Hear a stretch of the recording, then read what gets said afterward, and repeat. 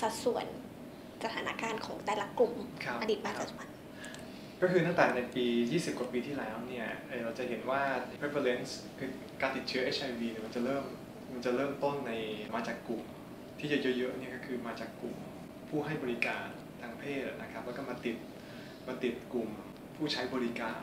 เพราะฉะนั้นเนี่ยในปี 1991 1992 เนี่ยสัดส่วน ของผู้ติดเชื้อเนี่ยประมาณ 70กว่าเปอร์เซ็นต์เลยประมาณ70เปอร์เซ็นต์ขึ้นเนี่ยเป็นกลุ่มผู้ใช้บริการนะครับจากจากผู้ให้บริการทางเพศนะครับ หลังจากนั้นเนี่ยก็จะเป็นผู้ผู้ใช้บริการก็ไปติดกับภรรยาที่บ้านนะครับก็จะทำให้กลุ่มหญิงที่มีความเสี่ยงเสี่ยงน้อยเนี่ยก็จะมีการติดเชื้อ HIV สูงขึ้นตามไปด้วยนะครับเพราะติดมาจากสามีเพราะสามีเนี่ยเป็นมีความเสี่ยงเยอะ นะครับ ในปัจจุบันเนี่ย เนื่องจากเรามีการควบคุมนะครับ แล้วก็การป้องกันการติดเชื้อเนี่ยในกลุ่มผู้ให้บริการทางเพศเนี่ย เพราะฉะนั้นกลุ่มกลุ่มนี้กับผู้ใช้บริการเนี่ยก็จะมีการติดเชื้อที่จะน้อยลงกว่าเดิมเยอะเลยนะครับ แต่กลุ่มที่มียังมีอัตราการติดเชื้อเพิ่มขึ้นเรื่อยๆเนี่ยจะเป็นกลุ่มชายรักชาย แล้วก็กลุ่มผู้ใช้เข็มฉีดยา สัดส่วน ของกลุ่มชายรักชายนะครับที่ติดเชื้อ HIV เนี่ยแค่ 6%ปัจจุบันเนี่ยขึ้นไปถึง 40%นะครับแล้วถ้าเกิดว่าเรายังไม่มีการจัดการที่ดีพอเนี่ยจะมีการทำนายการคาดการณ์ว่านะครับโดยใช้เราเราเรามีโมเดลที่เรียกว่า Asian Epidemic Model เป็นโมเดลในการคำนวณอัตราการติดเชื้อในอนาคตเนี่ยสามารถจะทำ forecasting ได้ ซึ่งก็คำนวณได้ว่า อีก 10 ปีข้างหน้าเนี่ยสัดส่วนของกลุ่มชายรักชายที่จะติดเชื้อใหม่ HIV เนี่ยจะขึ้นไปถึง 59%นะครับ เพราะฉะนั้นเนี่ยกลุ่มนี้ก็เลยเป็นกลุ่มที่ที่มีความสำคัญมากสำหรับในเรื่องการการการตอบสนองในเรื่องของ HIV ในในอนาคต ทั้งปัจจุบันแล้วก็ในอนาคต ทีนี้จากสภาพสถานการณ์ปัจจุบันนะคะ เราจะมีมาตรการหรือว่า จะต้องทำยังไงเพื่อเร่งแก้ไขปัญหาตรงนี้อะคะอะไรเป็นสิ่งจำเป็นอย่างแรกที่เราต้องจัดการก่อนนะก่อนอื่นเราต้องมาดูว่าปัญหามันคืออะไร ปัญหาเนี่ยอยู่ที่ว่ากลุ่มชายรักชายของเราเนี่ยเเข้าถึงการตรวจและการรักษาการตรวจเชื้อนะครับ แล้วก็การรักษาเนี่ยน้อยมาก ในรีพอร์ตของเราเนี่ยเรามีประชากร ในของชายรักชายในกรุงเทพเนี่ยอยู่ประมาณ 185,000 คน อันนี้เป็น estimate คือในกรุงเทพเนี่ยเรามีกลุ่มประชากรที่เป็นชายที่มีเพศสัมพันธ์กับชายเนี่ยอยู่ประมาณแสนแปดนะครับอันนี้เป็น estimate ซึ่งอาจจะน้อยกว่าหรือมากกว่านี้ แต่ว่าเราราวแสนแปดซึ่งในกลุ่มชายรักชายแสนแปดเนี่ยมีกลุ่มที่มีพฤติกรรมเสี่ยง นะครับก็คือมีพฤติกรรมเสี่ยงต่อการติดเชื้อ HIV เนี่ยซึ่งก็คือมีการมีคู่นอนหลายคนนะครับแล้วก็การมีเพศสัมพันธ์กับคู่นอนหลายคนโดยที่ไม่มีการป้องกัน ไม่มีการใช้ถุงยางอนามัย ซึ่งเรามีการ estimate ว่าจะมีกลุ่มชายรักชายที่มีพฤติกรรมเสี่ยงมากเนี่ยอยู่ประมาณ1ใน3นะครับซึ่งประมาณ 60,000 คนนะครับและในกลุ่ม 60,000 คนเนี่ยซึ่งเป็น high risk MSM นะครับเป็นเป็นชายรักชายที่มีพฤติกรรมเสี่ยงสูงเนี่ย ที่มีการตรวจเชื้อ HIV ได้เข้ารับการตรวจเชื้อ HIV เนี่ยจาก 60,000เนี่ยมีแค่ 1 14,000 คนเท่านั้นเองตามข้อมูลของเรานะครับแค่ 20 กว่าเปอร์เซ็นต์เท่านั้นเองที่ได้รับการตรวจเชื้อ HIV อีก 70 กว่าเปอร์เซ็นต์เนี่ยอยู่ที่ไหนยังไม่ยังไม่ได้รับการตรวจเชื้อเนี่ยนะครับ แล้วก็ในกลุ่มที่ได้รับการตรวจเชื้อไปแล้วเนี่ยเอ่อประมาณหมื่นสี่เนี่ยนะครับ ก็มีคนที่เป็น HIV นะครับประมาณ 4,000 คนนะครับซึ่งประมาณเอ่อ20 กว่าเปอร์เซ็นต์เหมือนกันประมาณหนึ่งในเกือบเกือบหนึ่งในสามเนี่ยจะเป็นผู้ที่ติดเชื้อ HIV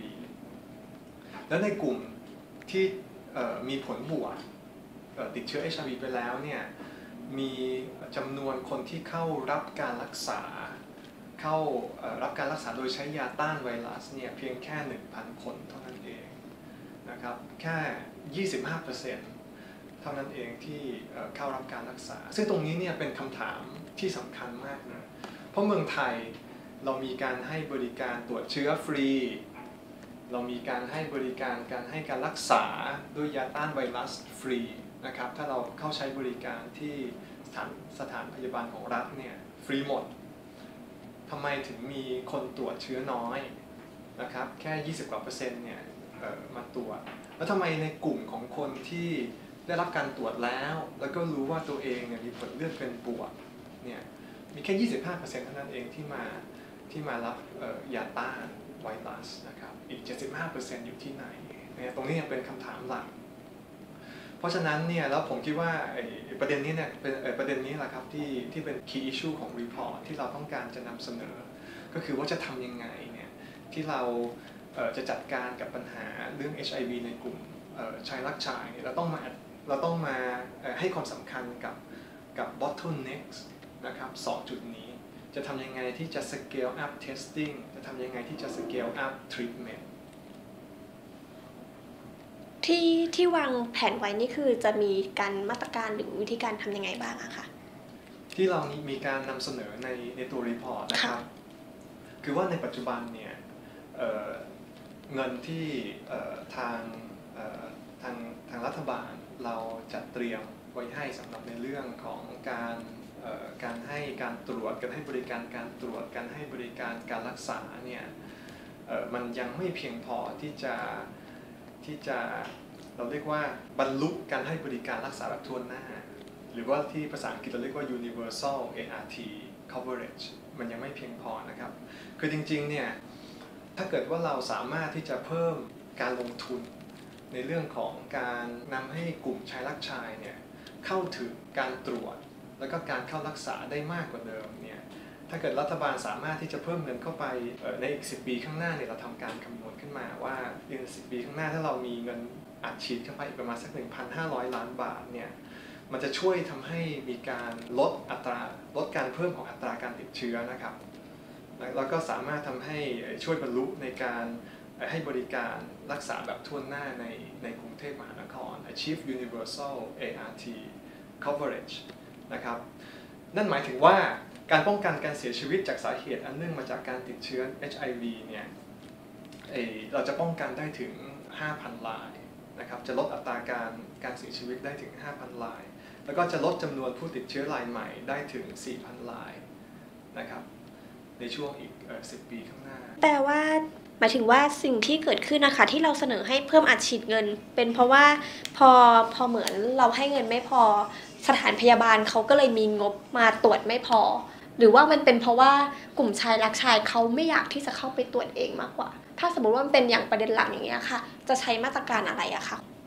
คือจริงๆ มันต้องใช้วิธีหลายวิธีนะครับ เพราะว่า พูดถึงทางสถานพยาบาล คือเราจะต้องมีวิธีการจัดการเนี่ยในการที่จะพัฒนาดำเนินการให้มีประสิทธิภาพมากยิ่งขึ้นเนี่ยเราจำเป็นที่จะต้องมีการให้บริการที่อบอุ่นให้กับคนไข้ อันนี้สำคัญมากเลยนะครับ ให้บริการในช่วงเวลาที่สะดวกให้กับคนไข้ แล้วเราก็มีพนักงานที่เป็นมิตรครับมี attitude ที่ดีต่อกลุ่มชายรักชายนะครับผมคิดว่า 3 ประเด็นหลักนี้เนี่ยเป็นสิ่งที่เราจะต้อง จะต้องมั่นใจว่าสถานบริการสามารถที่จะ deliver ได้นะครับจากใน study ของเราเนี่ยเราเราต้องการที่จะโชว์ให้เห็นว่าจริง ๆ แล้วสถานพยาบาล แล้วก็โรงพยาบาลของรัฐเนี่ยมีการมีความสามารถในการให้การตรวจ แล้วก็มีการให้การรักษานะครับให้ยาต้านไวรัสเนี่ยให้กับกลุ่มชายรักชายได้อย่างมีประสิทธิภาพ แล้วก็ค่าใช้จ่ายน้อยด้วยนะครับเพียงแต่ว่ายังต้องเพิ่ม ในเรื่องของการให้บริการเนี่ยอีกสามประเด็นหลักเรื่องของการต้อนรับอย่างอบอุ่นให้คนไข้ การให้บริการในช่วงเวลาที่สะดวกกับคนไข้กับกลุ่มชายรักชายนะครับ ถ้าเกิดเขาสะดวกมาตอนเย็นหรือตอนดึกเนี่ยก็ต้องมีสถานบริการที่เปิดให้ในในช่วงเวลาที่เขาที่เขาสะดวก แล้วก็พนักงานที่เป็นมิตรเนี่ยที่จูดที่ดีกับคนไข้เนี่ยเป็นความเป็นเรื่องที่มีมีความสำคัญมาก ซึ่งเงินที่อัดฉีดเข้าไปเนี่ยจริงๆก็คือต้องมาช่วยในการพัฒนา ระบบการให้บริการให้มันดีขึ้นด้วยนะครับ เราจะต้องช่วยหรือเพิ่มมาตรการอย่างเช่น อันบังคับใช้ถุงยาง คือจริงๆเนี่ยในเรื่องของการบังคับเนี่ยไม่มีใครบังคับใครได้นะครับมันเป็นเรื่องมันเป็นการตัดสินใจของของเจ้าตัวเอง ที่สำคัญเนี่ยการการป้องกันโดยการใช้ถุงยางเนี่ยเป็นการป้องกันที่เรียกได้ว่ามีประสิทธิภาพที่สุด ถ้าใช้อย่างถูกวิธีนะครับ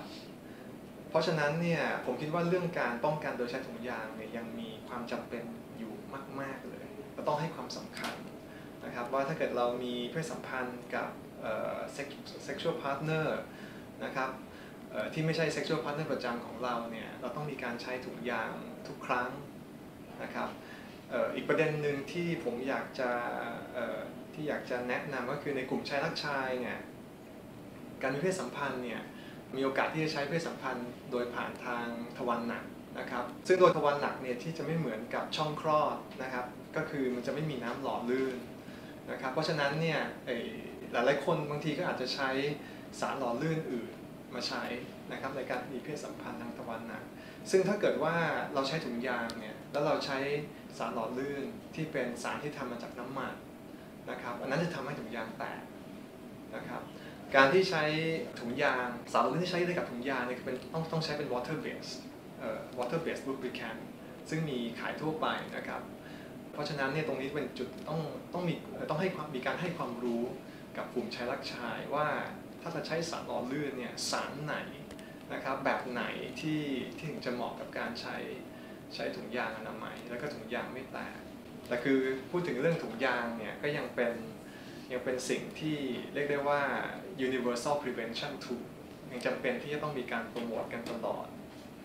แต่คืออีกเรื่องหนึ่งคือในเรื่องของการให้การรักษาโดยใช้ ART นะครับ เรามีเรามี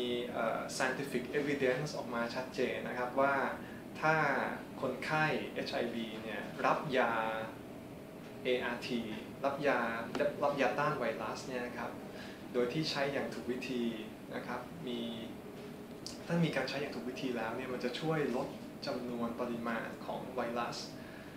HIV ในร่างกายเยอะมาก จนแทบจะโอกาสที่จะที่จะไปติดคนอื่นเนี่ยน้อยมากนะครับเพราะตรงเพราะฉะนั้นเนี่ยมันก็เลยทำให้เราเต้องให้ความสำคัญกับในเรื่องของการรักษานะครับว่าถ้าใครเนี่ยถ้าติดเชื้อ HIV ไปแล้วเนี่ยนะครับรีบมารักษา นะครับรีบใช้ยาต้าน เพราะว่าการใช้ยาต้านเนี่ยมันก็เป็น treat มันก็เป็น prevention อีกอย่างหนึ่งเราเรียกว่าเป็น treatment as prevention นะครับมันก็เป็นประโยชน์กับตัวเอง ซึ่งตอนนี้เนี่ยตามสถิติเรามีคนที่ติดเชื้อ HIV ที่เป็นกลุ่มชายรักชายเนี่ยมันรับการรักษาที่ติดเชื้อ HIV ไปแล้วเป็นเลือดเป็นบวกไปแล้วเนี่ยมารับการรักษาแค่แค่ 25%เท่านั้นเองนะครับจาก 4,000 คนที่ติดเชื้อ HIV เนี่ยมารับการรักษาไม่ถึงพัน รับเพราะฉะนั้นเนี่ยทำยังไงที่จะดึงสนับสนุนให้กลุ่มชายรักชายนะครับที่ที่ติดเชื้อไปแล้วเนี่ยมามารับการรักษา มีความสำคัญมาก